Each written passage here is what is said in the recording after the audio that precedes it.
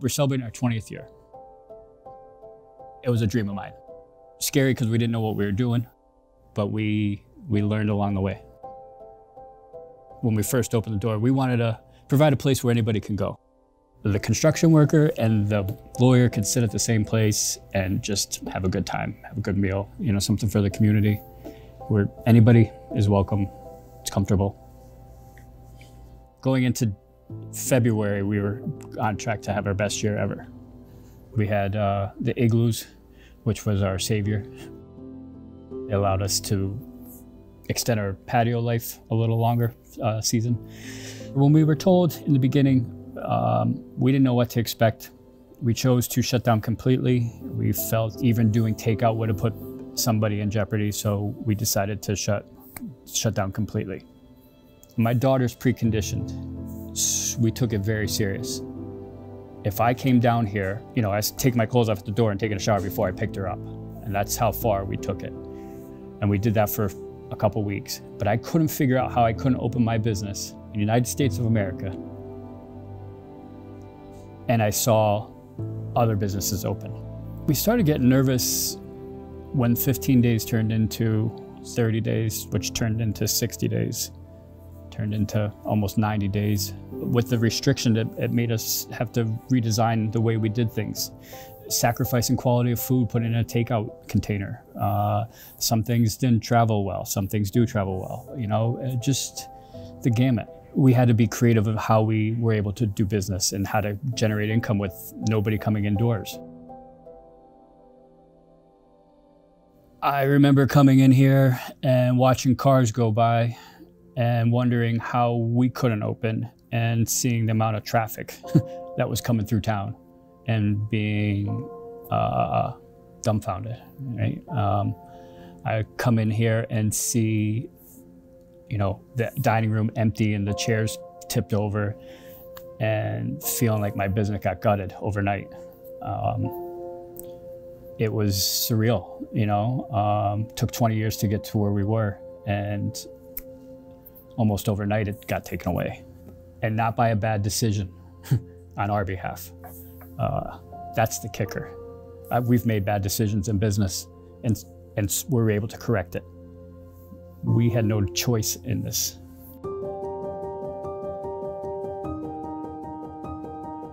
We were able to get the PPP money which enabled us to spend it uh, and bring people back. We had an eight week period to spend 75% of that on payroll. So we were paying employees extra to come in and stand around essentially. At the seventh week of PPP money, they extended it to 24 weeks where you could use it. So we were already in the position to have it gone. And uh, it would have been nice if we knew it was going to be a 24 week period. Uh, we could have spent it wiser and it really benefited us when we were open. We got a, uh, the EI, uh, EIL loan, I think it is, uh, which is a, a, it's a low interest grant through the uh, Small Business Association. So we did, we applied for that also. We got that. So those two alone is what's kept us in, in the game. I had to turn into a takeout place overnight. It's not what we're meant to be. You know, you're meant to experience State Street Grill, not get it in a to-go bag. So to redesign ourselves and do all that, it, you know, we did it. You know, we got to the other, we're, we're, we're, we're trudging, but it doesn't feel good. you know, that didn't feel good at the time. We were getting momentum. And every time we got momentum, we got, we got pulled back and got more restrictions. I think that happened two or three times to us throughout and it was you know another gut check. Uh, the week of Thanksgiving makes or breaks you for the month of November, and the holiday season keeps you in the game for December, January. Our industry, we're on eight to ten percent margins. You're just kind of constantly rolling, right? You throw fires in the log to keep this momentum going. So when you suffocate it, you know, just to open the doors, we had to jump through hoops and and and do a whole series of of things by the government. Uh, it's not like we can't figure them out. We actually figured it out within three hours with the new regulations when we first opened what we needed to do. We had our floors mapped, We had our uh, signs up, we had our sanitized stations out, you know, our sprays everywhere. It took three hours to figure out what his regulations were. To be told that we wouldn't know how to handle this kind of situation. And then, and you see the other businesses able to, to operate, especially the big box stores. I said it to staff members. I said, it's hard for me to come in here and watch my business get gutted from the inside out when we didn't do anything. It wasn't uh, a decision on our behalf to do that, right? So it's it's infuriating. It's, um, it's yeah. I mean, I don't know. Um, how could a box store open and uh, my wife wait two hours in line at Target, but I can't open a uh, a 50 seat restaurant? You know, how do I come down here and stare out the window and see 20,000 cars a day go by in Clarks Summit and I can't open my restaurant? That was devastating. And I probably went into a state of depression to some extent. I was not here much during the summer months and, and spring. Uh, I couldn't go into the restaurant and watch it die. You know, that's what it felt like.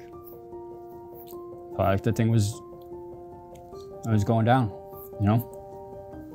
The newest round of closing us till after January 4th, um, again, you just took money out of waitresses and waiters and bartenders. You just, you, you just took it right before the holidays. Um, and there's no relief for them. We developed a program here at the restaurant where we're selling gift cards and you could tip it forward. So you buy a $100 gift card, you pay 120 of it, your tip's covered for that next, next time you use it, and we're giving that $20 to our servers now. Um, you know, that's how I can help my bartenders and my servers right now. Because um, that's the ones I truly feel bad for. My staff is single moms or college students or married couples that count on the second income. To have this right now is, it's rough, you know? I wasn't here to lead during the hardest part because I couldn't come in, because I couldn't watch. And I think a leader's there thick and thin. So I feel uh, a couple months there, that, that summer period, I wasn't on the ship when it was going down, you know? Uh, and I feel like I failed in that area, absolutely. And I don't know what I was looking for, you know? I just knew if I went in, my, my energy going in that place was not gonna do anybody any good. So I stayed away. And that's kind of I, my justification for it. You're better off not there because you're going to be flinging your negative energy on all of them, and they certainly don't want to be there probably any more than you do, and they were, they, you know. So yeah, so it was it was difficult. It's it's heartbreaking to see restaurants, competitors, go out of business, heart and soul into a restaurant. You know, like that's. I feel bad, even for them, for. I don't know. Um, gyms, hair salons, restaurants. We do it because we love it and because we know it. I certainly don't do it for the pay and the hours and the things that I've lost along the way, uh, sacrifices you make. But you do it because you love it. And I think if you're if you work hard at it with a little luck, you do well. I had a friend who owns a carpet place. He told me he couldn't sell his carpets uh, the same product is being sold at Home Depot, but he couldn't sell his because he couldn't open. Uh, that doesn't make sense. You know? Why? Not in the United States of America. To be told you can't open your establishment by no wrongdoing of your own. Uh, it, it, it's infuriating, you know? Um, it, uh, you hear those stories over and over. Uh, and then you look down your, your, your town and you see three or four stores closed up during this period that had the same product that was being sold at the big store, you know, or online. They were able to do business, you know. So why weren't we? Why was small business any different than big business? Because All industries in the big business were still going. It was only the small businesses that weren't moving. Gyms, hair salons, restaurants. Not just us. It's not just the restaurant business, you know? Small businesses.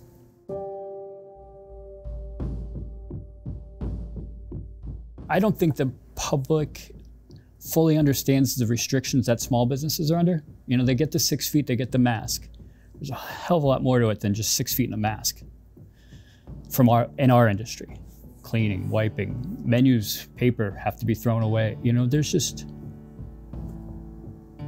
a lot more restrictions on us than just the six feet and a mask. We've been sprayed with the virus shield. They came and tested our readings. We came in at a 242, which industry standards is 500, and we were still below that. With COVID, they've lowered the restrictions, so we had to come in at a 150 or, or lower. We are at a 26 rating for sterilization in my kitchen and in all my high touch areas and in my uh, igloos. The guy, when he left that night after he did his spraying and testing, he said, You're about as clean as a uh, operating room. We figured out the first set of restrictions. Masks, we can do that. You know, the social distancing, we can do that. Other than that, it's no different than being in a supermarket, a Home Depot or a Lowe's, a Target. You know, if they're doing that, you can do that in a small business. So let us let us fight. You know, we're fighting to save our business and our families. Be open to new ideas. Be open to opening your mind up a little bit, you know? Be open to not listen to one narrative and listen to multiple before you make your own decision. And do some research. Do certain things get certain inspections, play by these guidelines, you're good. And we did that. And then uh, nine months later, into a 15 day shutdown, we're still in this, we're no farther along than we were, you know? I question a lot of that.